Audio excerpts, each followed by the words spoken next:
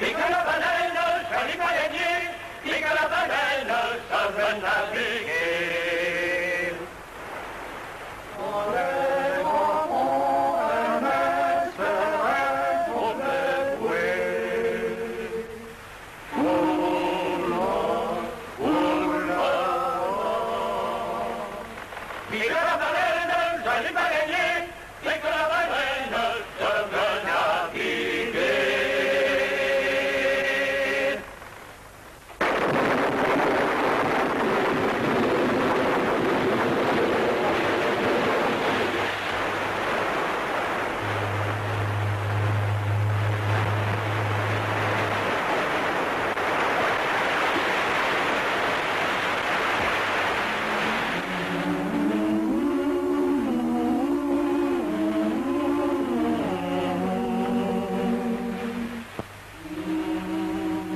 Chalutier, cargo, croiseur ou paquebot, un navire a sombré, soufflant une grande bouffée d'air.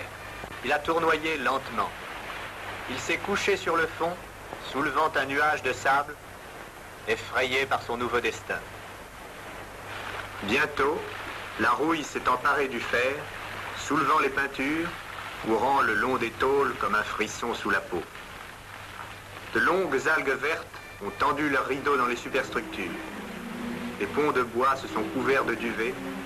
Les poissons se sont attardés sur cette roche étrange. Pendant des années, l'épave a conservé dans ses entrailles des petits coins d'acier poli dans leur fourreau de graisse. Mais le sel ronge toujours, la carcasse cède. Un jour, elle s'ouvrira lentement comme baille une nuit. Les ponts se poseront sur le fond de la mer. Les algues cicatriseront ses dernières blessures.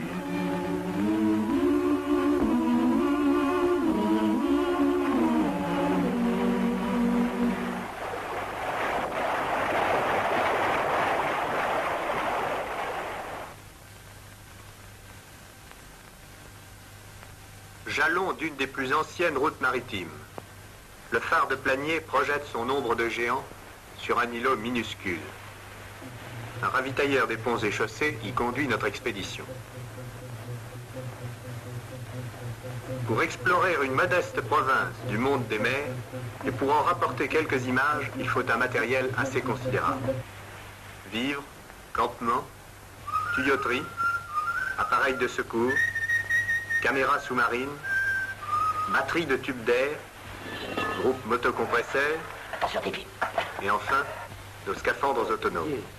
Trois bouteilles, dont l'une sert de réserve, sont remplies d'air à 200 atmosphères. Ces instruments sont lourds à transporter, mais leur volume est calculé pour qu'il n'ait pas de poids dans l'eau. Ils peuvent être rechargés sur place. Le réglage de la consommation est automatique, quelle que soit la profondeur. Nos vies dépendent de ces engins. Nous les contrôlons avant chaque plongée.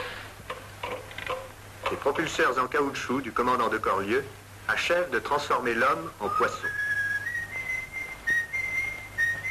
Nos caméras sont faciles à recharger malgré la complexité des commandes.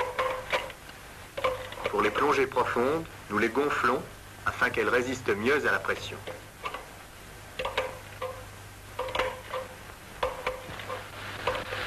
Tout est prêt. Le rêve de Jules Verne est sur le point de se réaliser. Les autonomes sont fixés dans le dos, un peu comme des sacs tyroliens. Ils nous permettent de vivre près d'une heure à 40 mètres de fond et de descendre beaucoup plus bas encore. Rien ne nous relie jamais à la surface, mais notre sécurité, c'est d'être toujours deux en action, opérateurs et explorateurs.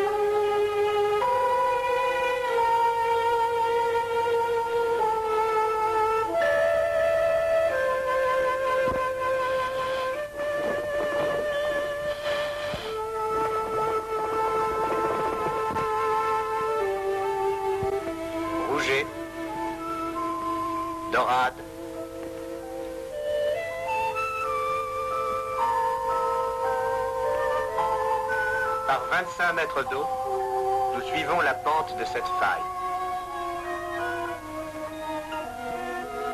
30 mètres. Quelques mérous.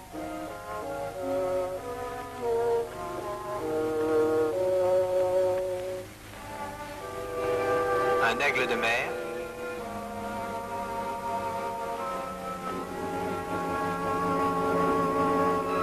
Une grande raie épouvantée par notre silhouette.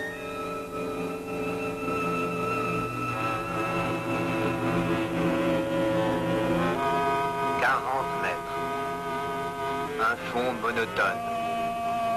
Tragique.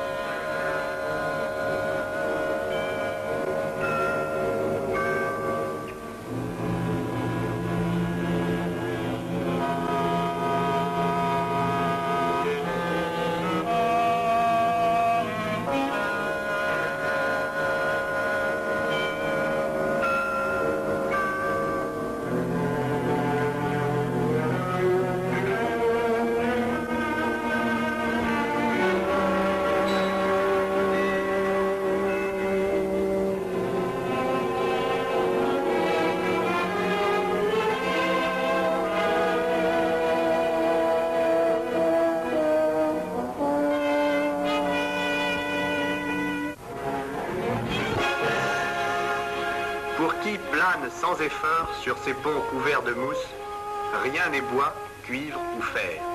Il n'y a plus d'objet. Pourtant, cette vieille roue vermoulue était autrefois la barre en chêne ciré d'un cargo neuf. Un vieux timonier l'a prise en main avec orgueil pour son premier appareillage.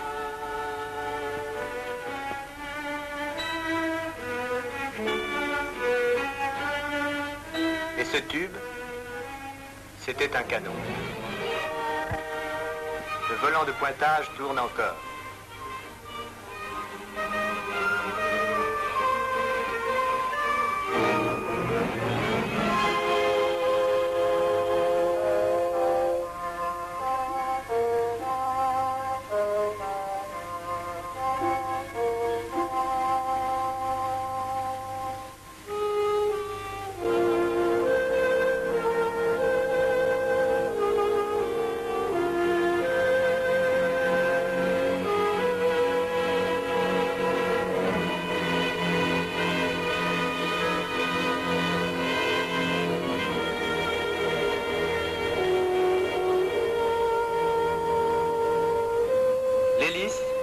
Couverte d'algues, parfois à demi enfouie dans un sable qu'elle semble avoir brassé dans ses derniers soubresauts.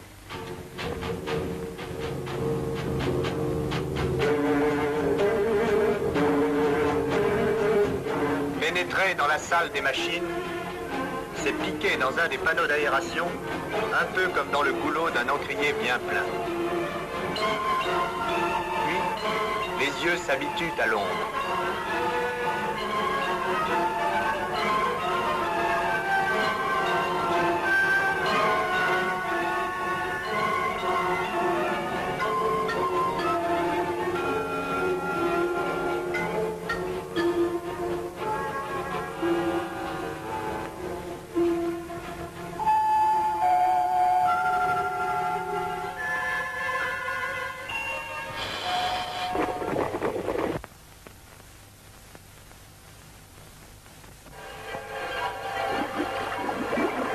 chaque souffle s'échappe un jet de bulles d'argent.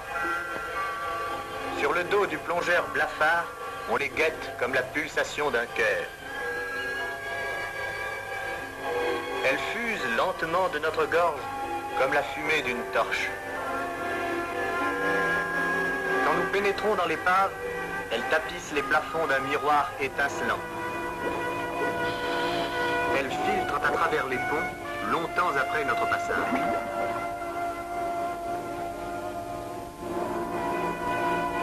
Et nous laissons derrière nous un peuple de fantômes.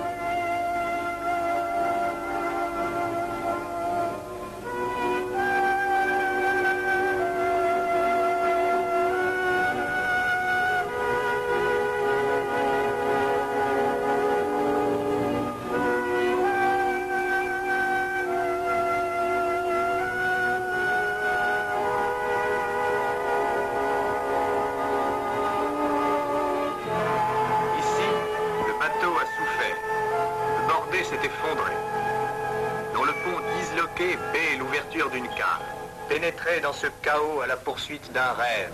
Parcourir dans le noir de longs trajets sous les tôles. Frôler au passage des lambeaux de fer aigus comme des poignards.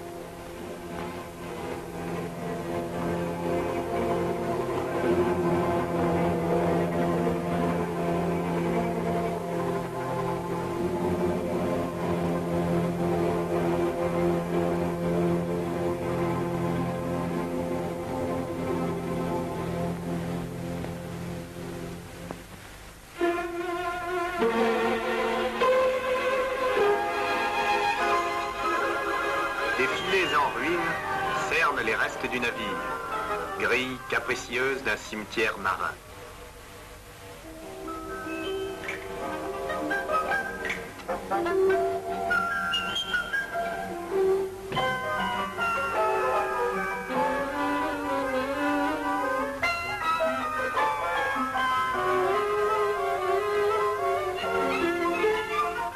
Pourquoi y a-t-il tant de poissons dans les épaves? Certains passent dans leurs agrès comme des nuages.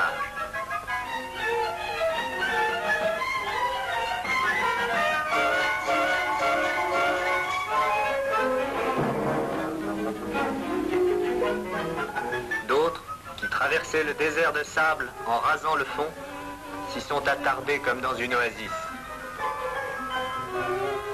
Les rougets y broutent paisiblement.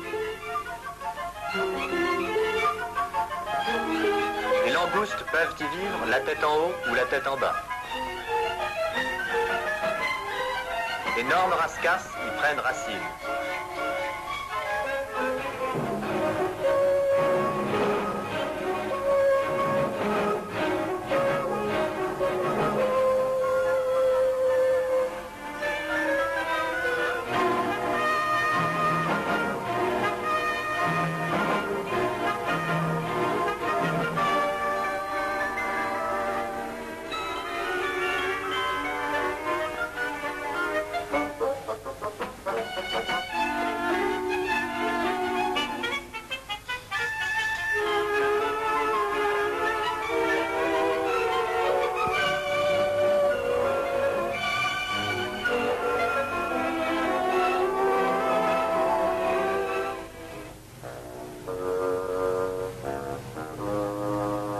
Tentation est trop forte.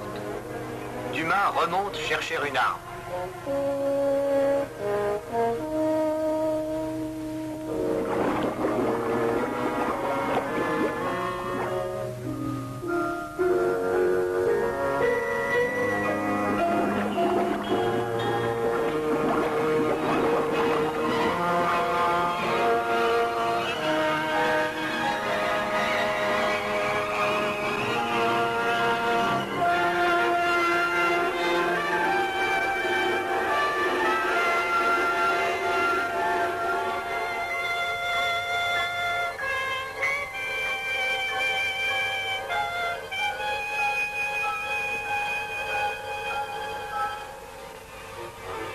Un requin, l'homme est prêt à fondre sur sa proie.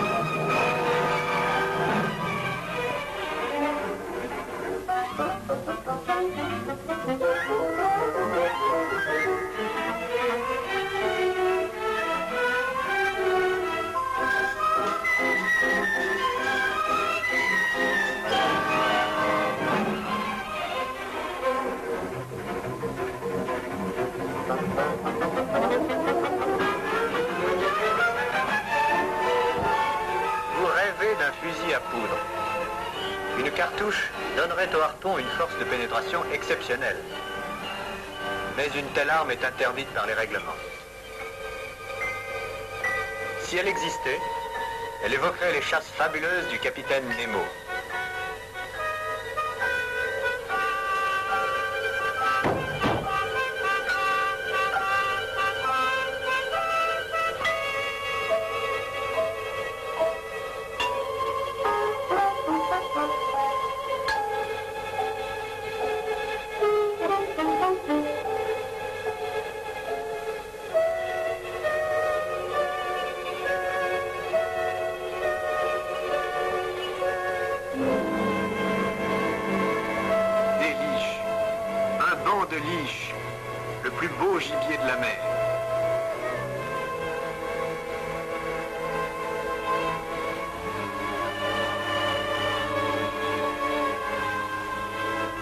Des bêtes de la taille et du poids d'un homme. On les rencontre alors qu'on ne s'y attend pas. Elles ne sont jamais où on les cherche.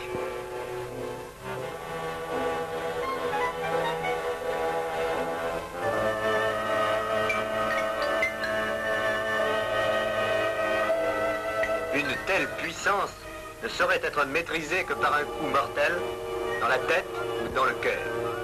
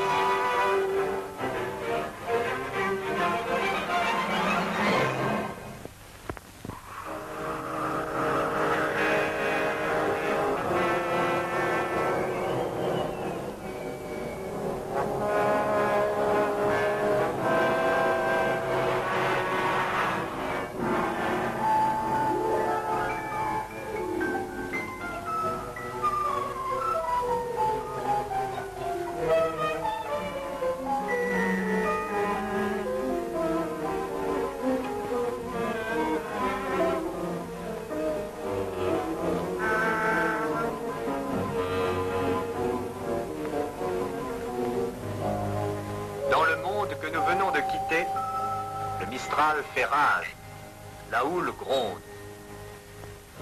Ici, c'est le calme absolu des grands fonds. Les épaves, témoins muets de l'agitation des hommes, portent la marque de leurs rêves orgueilleux. Mais aussi celle de leurs petites préoccupations quotidiennes. La baignoire du commandant.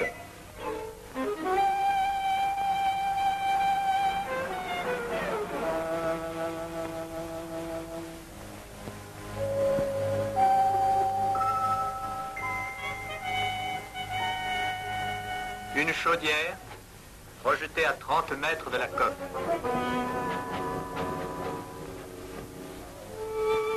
Par une belle nuit tropicale, des couples rêveurs, des couples passionnés ont flâné sur ce pont sans souci de l'air, chassés au petit jour par l'équipe de propreté, ses seaux d'eau, ses jurons et ses brosses.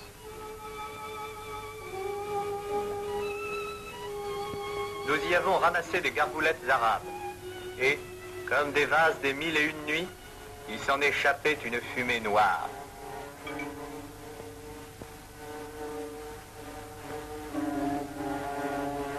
Après avoir explosé, pris feu, subi le fracas d'un naufrage, tout ce navire, englouti depuis 20 ans, est tordu, démoli par d'immenses efforts. Mais la vaisselle est intacte.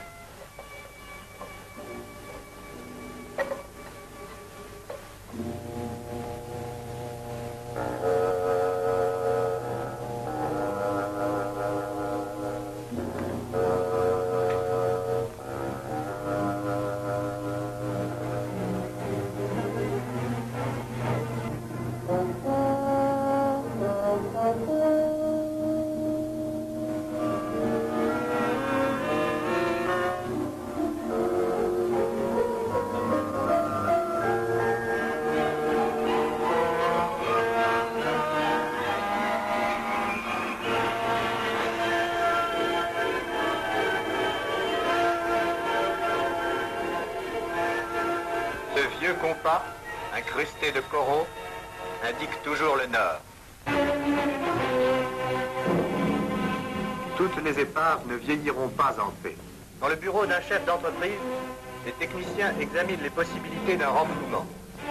Les scaphandriers obtureront sommairement les brèches. Des pompes puissantes seront mises en place.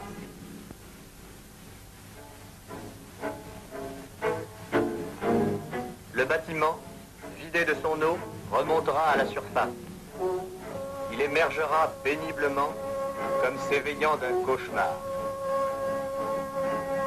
Si le navire ne peut être ramené à la vie, les hommes s'acharneront sur l'épave elle-même, étudiant avec soin s'ils l'achèveront au chalumeau ou à la dynamite. Contre la coque, dans les cales, se poursuit un obscur travail de préparation. Sur le pont éclaboussé de soleil, le scaphandrier braque le chalumeau. Une lueur rouge grandit, attaque le métal, devient une flamme palpitante, panachée de bulle. L'eau ronde, martèle la poitrine.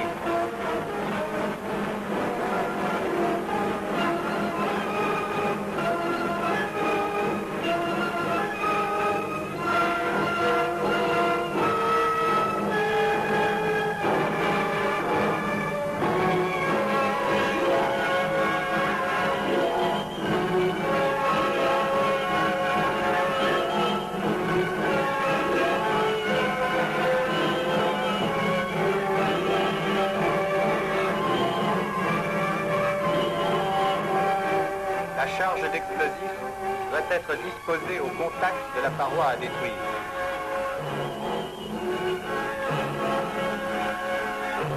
Plus personne dans l'eau Allez, allez-y. L'épave succombe. Les grands poissons l'ont abandonnée, comme les rats délaissent un bâtiment en péril.